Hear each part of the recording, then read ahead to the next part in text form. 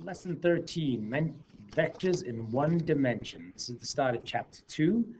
And you did vectors a little bit in science 10, so we won't go over this in great detail, but just to highlight some important pieces of information. So the first thing you need to know is the difference between scalar quantities and vector quantities. A scalar quantity just has magnitude. A vector quantity has magnitude and direction. So if I say I'm driving 50 kilometers an hour, then that's a scalar quantity. If I say I'm driving 50 kilometers an hour north, then that's a vector quantity because it has the added feature of direction. And vectors are drawn as arrows.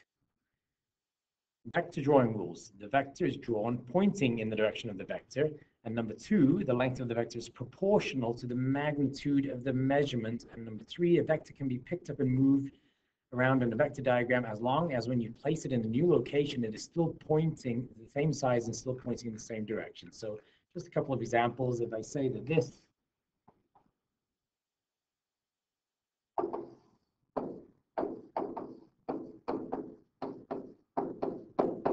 this is 50 kilometers an hour east, then that would probably be 100 kilometers an hour east.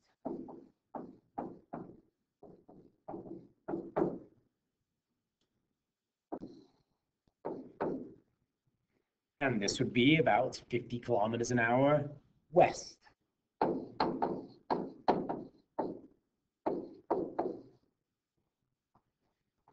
All right, and then of course we have north, south, east, west, up, down, left, right, and uh, any direction. And then of course we have diagonal directions, which we will get to when we do two-dimensional vectors. Okay, so adding vectors in one dimension. The rule is you place the vectors tip to tail, and here is the tip.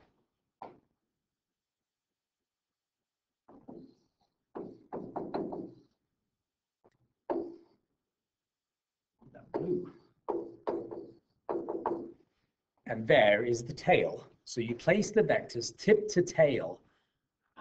Okay, let's go on to page two. Here we go. Sketch a diagram that shows you how you, you would add the following vectors A and B.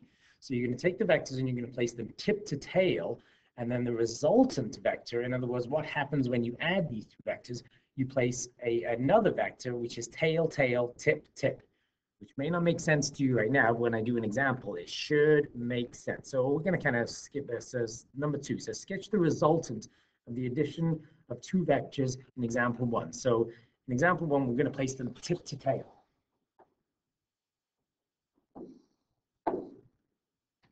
There's A. There's B. So you can say it's tip to tail, right, right here. Tip to tail. And then the resultant goes from tail, tail, tip, tip. So I'm just going to draw in this diagram, even though I should have done number two.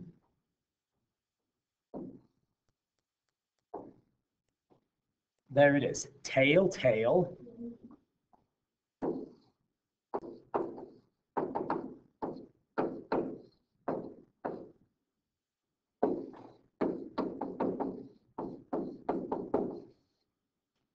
tip, tip.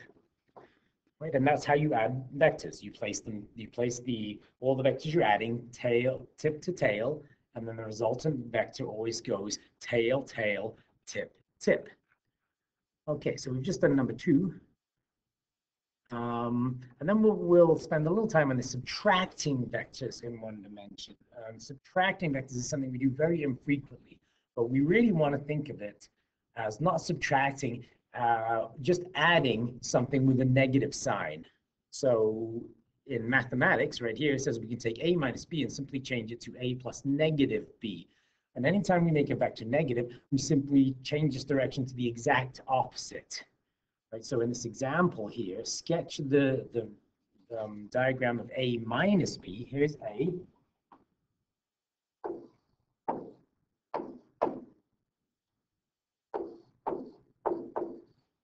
and there's b.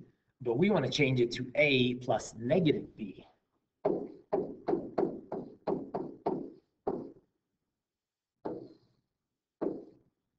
Which means a stays the same, but now negative b becomes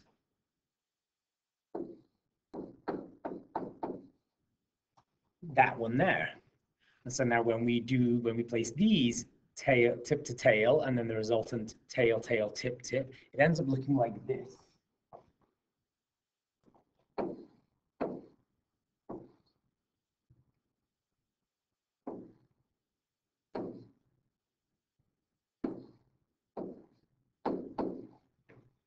I'm just going to put an R there for resultant. And as you can see, we still have that tip to tail right here.